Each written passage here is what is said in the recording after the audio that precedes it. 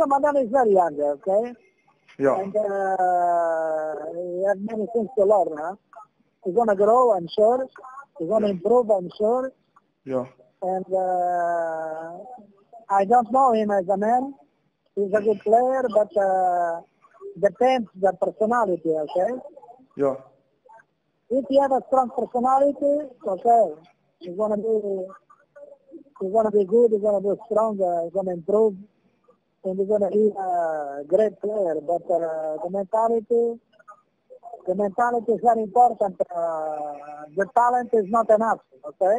Okay. Talent is not enough, but mentality is very, very important to to Talent improve not, himself. very important, but it's not enough. Yeah. Uh, if you have a strong personality, you're gonna be a player, uh, I'm sure. You're gonna be a good player.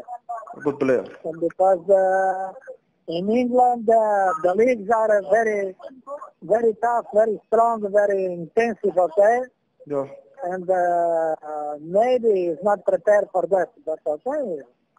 We're gonna wait and see if he improve or not. No, no, no, no, no. I think it's, uh, it's not time to think about. We go to Stoke City. Stoke City is a small team, huh? Yeah, yeah, yeah. Stoke City is like Tersana in Egypt, huh? I like Okay. In Egypt. Uh, Yeah, we'll see what they're going to do. Talk about the big clubs, uh, not correct because uh, you want to play in the small clubs.